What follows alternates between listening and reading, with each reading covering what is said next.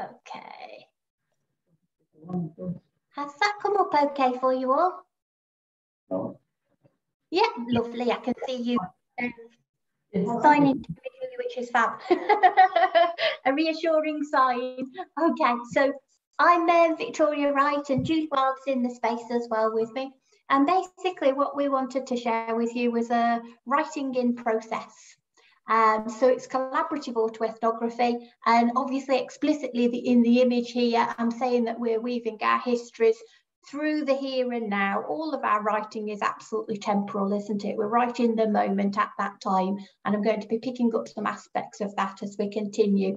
But our starting point was basically uh, reflective journaling. And really it was because we had that, um, if you like, catalyst of experiencing the pandemic, experiencing COVID-19, being in teacher education and having some very big decisions to make um, for instance, who would pass the course in that timely manner that they'd expected to, and who would not quite be able to, etc. There was an awful lot of things going on there, a lot of very serious um, things going on. Um, so our storying together, um, I think ultimately came from a place of wanting to hear ourselves as well as hear each other and had that explicit then emotional dimension and also that um, probably that cathartic sense that I'm sure um, you will all be very, very um, in tune with. I'm going to be explicit here as well and say that our autobiographies are interconnecting. So myself and Julie have worked together for years, for something like 14 years together. We're in the same team. I've now moved to be um, a line manager um, but we're all we're both in the team. We've both got very shared experiences of having worked in education, in further education, and then coming into higher education. So we have to be upfront here that, of course, we have a kind of an immediate and a, and a I would say a ready connection between ourselves, which will have supported our writing. Most importantly, what that does, because we also have a friendship connected to that, is it it ensured that we were always writing with each other in a trusted space. So it's a very freeing exercise, I would say, to write in that way with somebody who you know that well and who you trust. I was writing in particular ways, so I kind of um, worked with Julie to um, construct a way of writing that we felt the most comfortable with. But we actually looked back at um, Gale, who we've just heard speaking, um, so Ken Gale and Jonathan Wyatt, and I loved a particular paper that was, um, excuse me for looking at my notes because I'm always keen to make sure I reference people appropriately. So it was their 2008 paper, um, Two Men Talking, a nomadic inquiry into collaborative writing. And I just absolutely loved that. It had a lot of resonance, resonance for me. What we started to do was in effect like a call and response. So I started the writing and then Julie picked up, responded back to me, and we began to actually pick up a line or two lines or however many lines we wanted to from each other's writing and write within through that. Um, it became a very productive space. And I just loved this quotation. And this is from the intensity paper. So Gale, Pelias, etc. I have been wanting to write and that really, I think, was our starting point. We wanted to write, we wanted to communicate, share something of ourselves. I'm going to flag up this uh, sense that it is about um, agency, that it's actually, in, in our case, I would say it was about trying to find some control somehow in a time when things were variously out of our control and pushed us um, in terms of what we wanted, what we were hoping for, for instance, for our students, was perhaps not always possible or not always possible as we expected it to be in the same way. Um, I absolutely love this as well about the spiders, enchantments and enticements. That for me is a fantastic expression of how it feels to write when you do not have a specific um, goal you're not writing for something. We're not right. We were not writing for to generate a particular product. We happen to be generating a product or a share here, um, but we're, we weren't writing with that in mind. We weren't writing with anything really in mind other than to come back to ourselves and think, who are we as teachers? What are we doing? What is this thing? What are we experiencing? Again, a few quotations here. So um, the plan, this made me laugh. When I saw this um, in the Two Men Talking paper, I did chuckle to myself because I support quite a few um, kind of early researchers, writers um, to write, typically to write alongside me. And I have heard this myself. I've had this um, Victoria said, what's the plan for this? Where's it going to go? I think, oh, that always makes me feel mm. uncomfortable because I think we have to write in the moment and the writing evolves and we build connections together. That's what we did here very explicitly. So I'm just going to move my screen a minute. This also, we go off in tangents. It's not a linear process. I was interested uh, listening to the um, talk that we've experienced just now. Um, and I think it was Helen referred to her thesis as being non-linear. My doctorate thesis, I wanted to make non-linear. Um, I was able to make it a little bit non-linear, but not as much as I'd have liked. And that for me would have been more authentic. The, this, there is that authenticity of going off in other directions, developing something and coming back to a space. And underpinning all of that, this, you know, going off on various trajectories, but knowing that it's going to take you somewhere is the trust.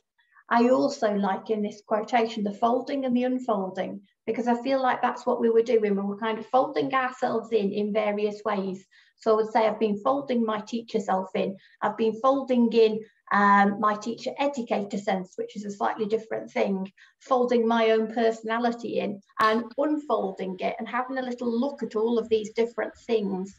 Um, I'm connecting that actually to um, Paul Cope with his um, art and place and that very that physicality of folding and representation that he shared so beautifully yesterday. I'm going to share with you a couple of extracts. So for me, writing, I have to be, I have to move into that physical space. It's embodied. Writing is an embodied activity. I always start my writing by thinking, where am I? What is this place, space in my head? And literally, the conversations ebb and flow. That's how it felt for us. This felt like a naturally occurring, obviously grounded in the fact that we've got um, a strong knowing of each other.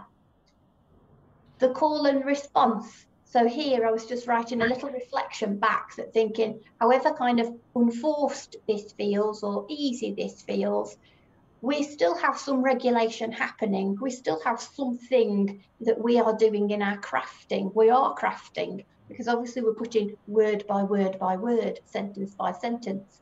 And as it evolves, you, you recognize that there is something of a pattern there is something that if you wanted to, you would be able to analyze. Let's say you could do a thematic analysis of it.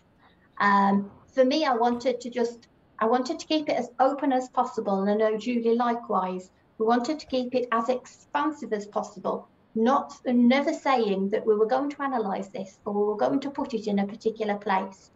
And again, for me, this is just part of my way of writing. Um, I like to think about the space as in a metaphorical and a physical space. So for me, I was thinking, this is what it feels like to me. It feels like the fields stretching in the distance, the trees, the farmhouses. I'm in a chair that creaks so much, so much I feel like I'm in a ship and therefore have to keep it, etc. That those to me are important bits to put in the writing.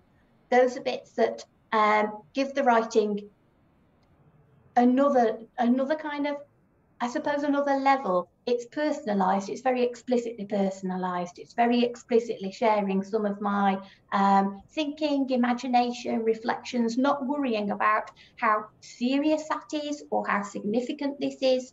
I feel like um, a lot of my writing, I would say, is about serious play. I'm playing. I am actually being really serious, but I'm being playful at the same time.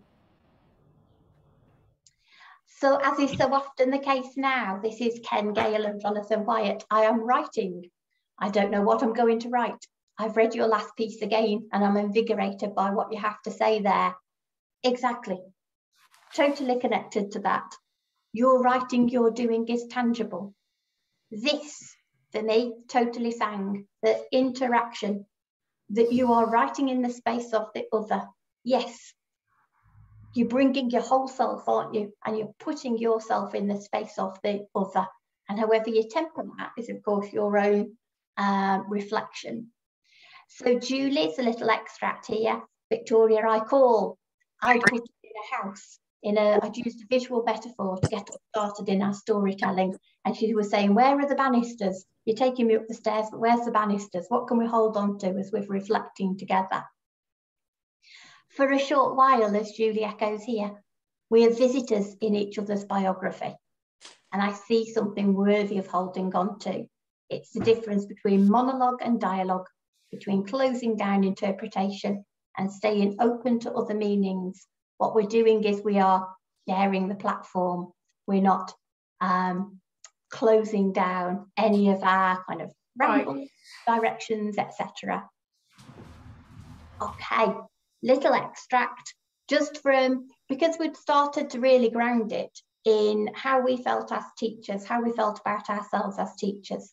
So naturally, I would say autoethnography is anyway about um, revising, reflecting, thinking back. I'm thinking of Carolyn Ellis with her meta-autoethnographies, her revisiting of her own work and her reconstruction and rethinking about those.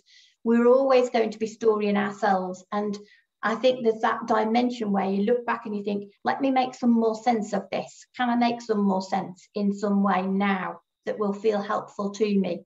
So I was thinking about a particular tutee of mine, so a teacher education student, saying that they they thought they were too quiet or too shy to be a teacher. And actually, I'm very shy. And I shared that with them, and they were really surprised by that. And we just started them from that basis, talking about the, this phrase, the bubbles of the classroom. Julie picks that up and works with it. And in her way of working with it, she's thinking about how she um, navigates the space that the students are in, how she steps in when we're thinking about group work. You step in and you step back and you read the room and you're thinking about what you're doing when you do that. The fact that some of this is actually difficult to capture, even though we're very experienced teachers. It's difficult for us to verbalize. It's actually also difficult for us to write because what that is, that sense of stepping in and stepping back, is actually intuitive and emotional and reading in that full sense. We're in this house. She says, I like being in this house with Victoria, exploring, appreciating the finer details, the knocks and scraps of lived experiences, little dents here and there to remind us of the past, a simple ebb and flow of innocent conversations. It's the place of trust. I have that with you, Victoria. Our experiences have led us here, writing alongside each other, understanding each other really very intuitively, standing alongside, but also differently. I see how you see my sense of the sensitivities of the students. And finally, we're both storytellers. We're all storytellers. Reflecting again, thinking back. So we'd written over it over quite a few months. So every now and then we were sending each other another bit of writing that responded to writing that we'd shared. Because um, an academic environment and because I've got a teaching and research contract, there is inevitability to me thinking, should this be more visible? Should I use this some way? That wasn't our original intention. And I don't think that we will take it any further than this. We'll take our reflective journaling further, but I won't be publishing something on the back of this. This is a space that is just a shared open space. Reading Wyatt and Gale, again, I was excited by that, um, about the bravery anyway of autoethnography. I mean, yesterday's um, sessions that I attended, as ever, I absolutely loved. I always think it is a privilege. I'm just going to pick up a couple of words, terms here. So mimesis is the idea that autoethnography acts as a mirror or a reflection of life and living in ways that are useful for contemplation. Absolutely. That is something that um, I think is, is very, very important. I feel like personally, um, autoethnography provides me with a space to breathe because I can um, produce, make, construct a story in whatever form I like at that time. It helps me to understand where I am and where I want to go as well, though it doesn't necessarily need to have that direct purpose. If it focuses our attention on reflection and engagement, Poiesis asks us to consider autoethnography as a creation that makes something happen, a poetics, a way of relating to self and culture that shows how we make meaning and construct relationships on the page and in the world. Yes, this for me is, is incredibly powerful. As I say, I love autoethnography. You'll be able to hear that in me talking to you about it. I think it is fully inclusive in the most important sense not in a simple sense. The way of relating self and culture always.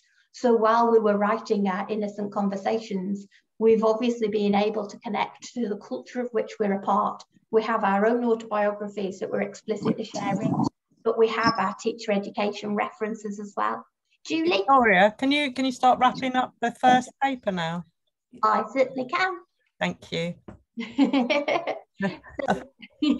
in our expanding spaces, what we haven't done, because say we have no purpose and have, had no particular agenda for doing so, was these particular aspects. There's other things we could go into. Whether we do, don't know. It's an unfolding story. Thank you, Julie, for flagging. Thank you. That's great, Victoria.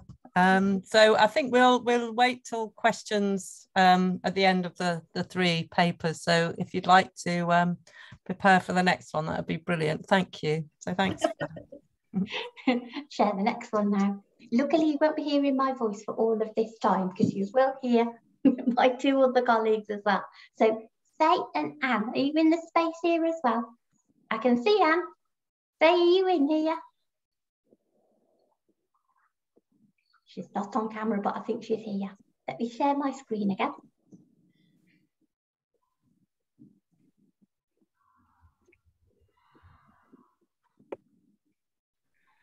Sorry, I couldn't unmute. Don't you worry, lovely, you're here. Lovely. Uh, just a, a reminder, it's eight to 10 minutes, so. Yeah. Okay. Just check it. Just checking while you're setting up. People can hear me. I think there was a problem yes, yesterday. I can hear you. Lovely. Thank you. We can hear you. Okie dokie, let me just put it on my.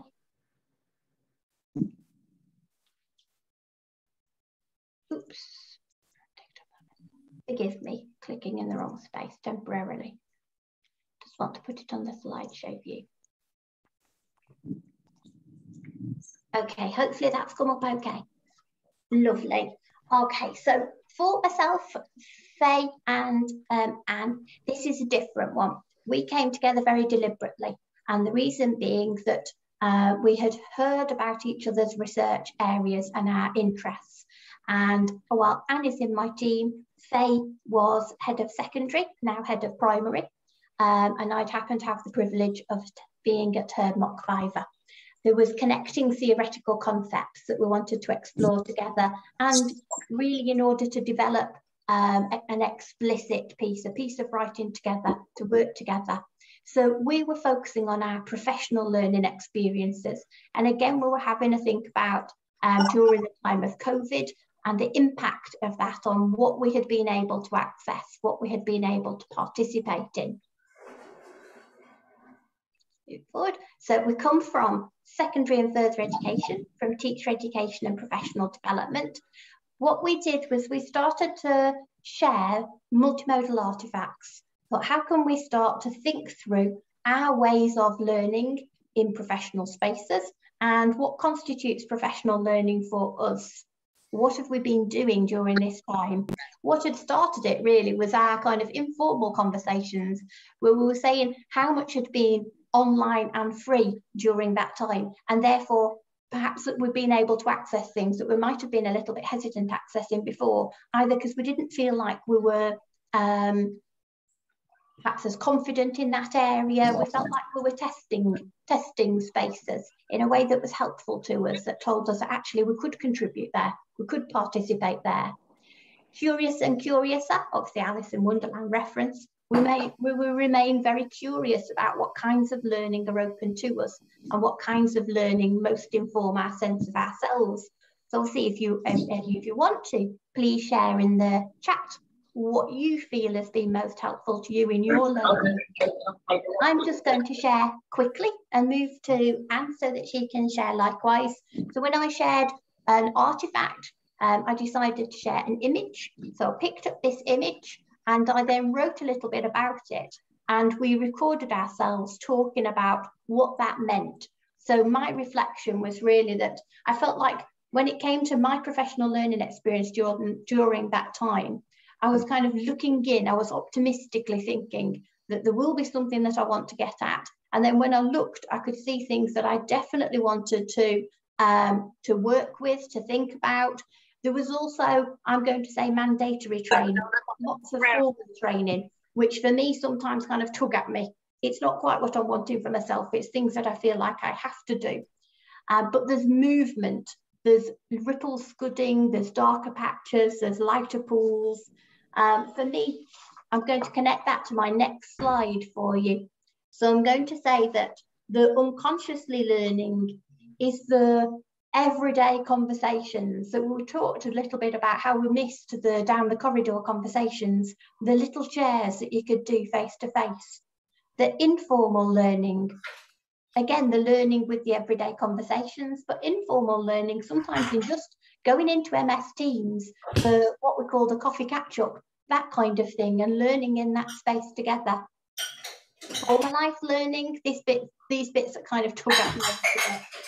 There was the actively learning. I want to be in that space. I want to find out more about that. Learning for a particular purpose. I have a particular goal, project, whatever it is in mind. And throughout all of this, what we've been doing is problematizing learning and problematizing professional learning. We could bring all sorts of papers to this, but we thought we would prioritize the story share here. So it's connecting and assimilating, transforming and reframing. Really, that is how I would want to badge learning in this sense. The learning that I've done, can I make connections to it?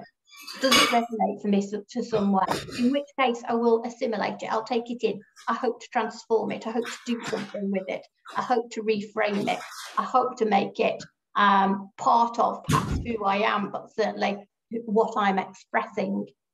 I feel like what I've done during this time is I've inhabited a space at a time. I've inhabited an online space. I've inhabited a space in in Teams, in a conference, I've had a kind of a moment of learning, then it's up to me how I take that forward. Can I just remind everyone if you're not presenting to mute yourself so that we can't hear the background that would be really helpful. Somebody's washing their dishes, I think. yeah, I know. I don't mind that as an problem, but that's all right. and I've just got a couple of references in here in case anybody's interested in picking up a little bit more. So this is Mockler's paper. It's fantastic paper on teacher professional development. And she, what she's talking about is the contrast between the fixed mandatory um, and the what she calls authentic professional learning. And that's really been at the heart of mine and Anne's and Fay's discussions. What is the authentic learning for us? Some of these have real resonance for us, that it's active, that it supports you in experimenting, that it's collegial and collaborative, that it might simply be stimulated by curiosity. I'm going to move forward to Anne's slides. So Anne, I should let you take up the baton. Thanks, Victoria. Uh, so this is my artifact that I created, um, which was an image of a sort of a fusion of three different elements. You'll see in the background uh, what I called my data wall. It was enormous. It was a wall. It was um, my way of sorting my doctoral um, data uh, from qualitative research. So there was a vast amount, and a spreadsheet just didn't do it. I needed to get tangible and start moving things around. It was a real cut and stick. So that's the background, and that was very prominent during this period that we're talking about for me, um, and the fact that I was doing it sort of very much on my own too. Um, and then also there's the works of uh, Henri Lefebvre in particular, uh, the rhythm analysis. And I put the book there because that was sort of um, really threading through my time, through my research, but also res- resonating with me personally, as I'll mention in a moment. Um, and finally, the other part of the image is the headphones, uh, the, the dreaded headphones that came into my life that I'd never expected to experience as, as in such a significant way during the pandemic and became a core tool for, for my work, um, as, as uh, many have experienced also. Uh, so um, reflecting on the image, I found um, this is really a, my period of, of um, learning was very much um, characterized by the interruption to professional life, as Victoria said, the ad hoc conversations, missing those interpersonal elements, um, but also making sense of learning alone and the sense that I needed to make things more physical, more tactile, maybe as an antidote to the screen work, um, but maybe as a, another way of sort of communicating with myself. Um, so thinking about um, because Lefebvre was um, what I was uh, drawing on his work very much for my thesis, um, it also resonated with me personally. So I, I, I naturally looked uh, to, to to this work to, to inform my understanding of what was going on. Uh, so Lefebvre very much uh, looked at the rhythms of everyday life from his Paris window, looking down on a junction uh, in the courtyards of Paris. Uh, this sort of inspired me and helped me to look at the rhythms and how the balance of life had shifted for me in terms of professional learning, um, especially. So you know the the elements had been disturbed um, a previous sort of unconscious harmony that that that I hadn't even realized was there was was disrupted and in what um, Lefebvre would have called um, an arrhythmia um, where rhythms break apart and bypass synchronization and this really um, meant something to me at the time. Um, you know and the the whole concept of looking at things with your head your memory and your heart also um, when you look at these rhythms uh, resonated too. Uh, so, you know, in consequence, I think I encountered uh, different rhythms and different spaces during this time, and I felt they restricted me.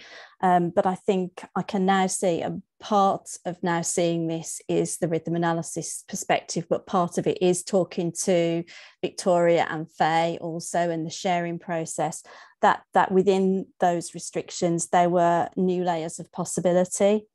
Um, so for example, my work with my participants, although this was online, uh, not not as planned. Um, there were very rich encounters there. So, uh, uh, you know, another examples also. Um, before I pass on to Fay, I'll just end with a, a, a little quotation from Lefebvre there at the end, um, which inspires us to go deeper, looking for, but not just looking for, but to grasp all the elements of rhythms that you see around you and that you can connect with. Uh, so you're seeing everything and every nuance of everything in its own space, time, and in its place. Uh, so I think that's that's my sharing. I'm going to pass over to Fay now. Okay, thank thank you. Just to say that that's ten minutes, but um, you know it is fascinating. I don't want to stop Fay from speaking, but yeah, if you can try and be quick. Will be. You. Thank you. Um, so my chosen artifact was the classic game of Connect Four, um, which I owned in the 1980s. Um, and I was drawn to the Connect Four game when reflecting on my professional learning, as I was thinking about the pieces of my professional learning and how I make connections between my experiences um, that are of different nature and different type um, in different places and from other times. Um, and then I also reflected on gameplay and strategy. So sometimes professional development, um, it's not your turn, there's obstacles in the way, um, and sometimes you need to look for other opportunities in other directions. Um, and there are choices to make in terms of the nature, type, and scale of professional development. Um, so further reflection led me to this 3D version of the game. Um, professional learning is not linear, but has multiple dimensions the nature, the type, the place, and then that professional learning that's situated in place and time. Um, so there are opportunities for alignment between the pieces of professional learning. And finally, professional learning is a more fun activity I found if undertaken with others. And I definitely felt that loss um, during that time when we, we couldn't access that so readily. Um, so to summarise, um, my experiences during the pandemic was that my access changed. I found it easier to schedule around commitments and things were more accessible through online or, or recorded activity. Um, funding, in fact, cheaper to attend often the online events, um, but those spaces that were provided by social media and those informal, what might be termed grassroots professional development, which I found I then engaged more in than I had more so than I had before. Um, so there were more opportunities, but I missed that naturally occurring professional, um, that those naturally occurring professional development opportunities. Brilliant, thank you. Thank you very much. That was uh, really, really excellent. So um, thank you. And as I said earlier, we'll have some questions, hopefully we'll have some time for some questions and chat at the end. So thanks, thanks very much. I think up next we've got uh, Raashi and Anna. Thank you. Yeah, hi. I'm just Hi. getting my share screen sorted.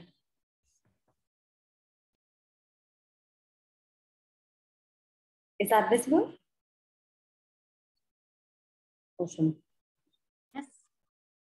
Okay, perfect. So, hi everyone. I'm, oh, am I still visible? Hi, uh, I'm Raashi, third year medical student at Imperial College London, and I'm speaking from India right now. I would have loved to make it in person, but Bristol's a bit of a trek for me. um, so about a year ago, me and Ana, my lovely mentor and expert in medical education research, embarked on this sort of collaborative autoethnography um, reflections about the impact of cultural differences on the journey to becoming a doctor. Um, I'll speak a bit about that now. So um, the objectives of our collaboration were to critically explore cultural differences in my lived experiences, that of an Indian girl born and raised in India, but attending medical school in the UK, and reflect on the impact of these experiences on my journey to becoming a doctor. Um, what I've learned is the doctor patient relationship is central to positive health outcomes. And medical schools have a crucial role to prepare ideal future doctors to provide the best patient centered care. And patient centered care is underpinned by ethical and philosophical values whereby each patient should be regarded as a person with individual needs, wishes, and resources based on their lived experiences. And because that's a person with their own set of cultural, ideological beliefs. Now, in increasingly multicultural societies, ideal future doctors will need to be critically aware of not only their own social cultural beliefs, but also of their patients and reflecting on theirs and their patients' cultural and ideological location will impact on the quality of care that the patient receives. Um, the fundamental base of our autoethnography was my journal, which contained a series of these reflective vignettes and epiphanies I experienced. Um, and then we conducted these dyadic autoethnographic interviews just to tease out the greater relevance of these personal stories and then link it to academic literature and studies. And this whole process was like an iterative one. Um, so while on doing this, basically, um, a few themes emerge. And for the sake of this presentation, I'm dividing it into two themes and discussing them one at a time, but they are very much intertwined. Um, and they are the expert patient and the doctor patient relationship, and the ideal doctor embodying cultural norms of the place. And I'll go over them one by one, I guess.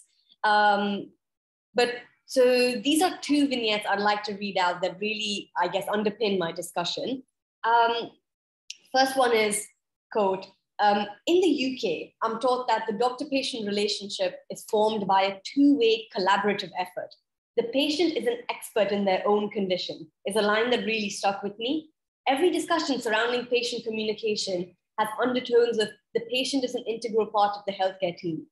And on the flip side, in my healthcare experience in India, I've seen patients explicitly tell doctors not to explain them the medical facts and just simply begin with the management they deem appropriate.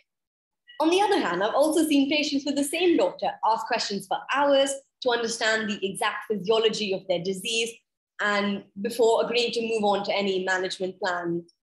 Um, yeah, so, so these two vignettes that explore the idea of a patient being an expert in their condition how expert is the patient? According to me, an expert is a person knowledgeable in a particular area. So people can be classified as experts in their own life because no one knows more about their aims, goals more than they do. But in the medical context, the patient is the most knowledgeable about how their disease has impacted their day to day life. But the healthcare team is more knowledgeable about the disease presentation, progression, management. So, does a patient's expertise impact on the quality of care provided to them? So, studies have illustrated that it's possible to provide high quality care inconsistent, which is consistent with the patient's wishes, even if those wishes aren't uh, consistent with the standard medical course of action, the overall best decision can only be made as a collaborative effort between the doctor and the patient because the doctor knows what's medically best and the patient knows everything but that. So ideally, there has to be a bilateral exchange of information and then a jointly made decision that doesn't harm the patient's health, yet respects their wishes. Um, the second theme, the ideal doctor, I'll again read my two vignettes. In India, I've seen the doctor patient relationship go one of two ways. Commonly, doctors are treated like gods. Ideal, the ideal doctor is supposed to know what's wrong with the patient and what to do about it. Patients, more often than not, do not consider themselves an expert in their condition.